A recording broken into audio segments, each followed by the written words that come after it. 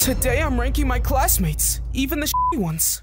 First, we're gonna start off with the man that made me eat a piece of his hair. Legend.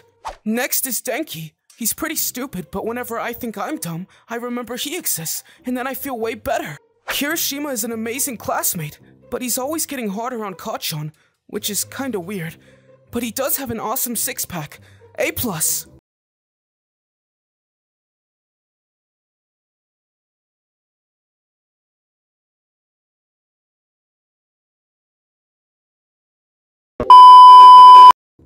Sero's basically Spider Man, but shittier. Um, that's pretty much it. I'll give him a C. Kacchan's really strong, but he's always bullied me since I was a kid. And he's always mean to everyone for no reason. But he's my best friend, so I'll give him a legend status.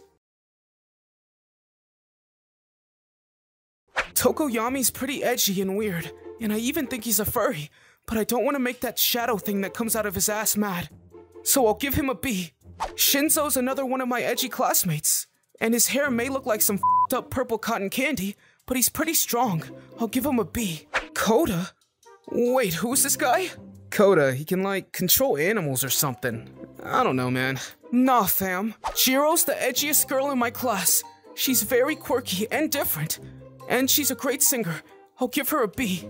Ojiro's quirk is literally just having a tail. Nah, fam. Shoji always creeped me out.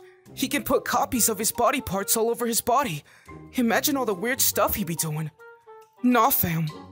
Mina's the best dancer at UA, and I think she's an alien or something.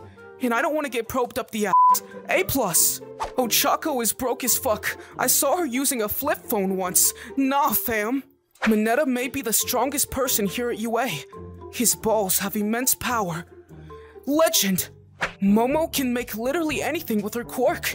But what I really want her to make is a sandwich. Get in that kitchen, b See, Sato gets stronger from eating sugary foods. What a shitty quirk. Nah, fam. Aizawa is an amazing teacher, but I think he's into some pretty kinky stuff. He's always wrapping up villains in his scarf. A plus. Todoroki is a professional emo. A plus. Ida's always yelling at us to study and take our seats. Like, damn, man, chill. But I still like him, so B. Sue's quirk is literally just being a frog. And that's kinda weird, but I think her dad's Kermit or something. So A+. plus. Hagakure's quirk is invisibility, so she basically has to be naked to even get use out of it. Which is weird as fuck. So C. Yuga tried to make me eat his nasty ass cheese one time, and he's fruity as fuck. C. So that's what I think about my classmates. Let me know what you think in the comments. One more thing. Baba Booey,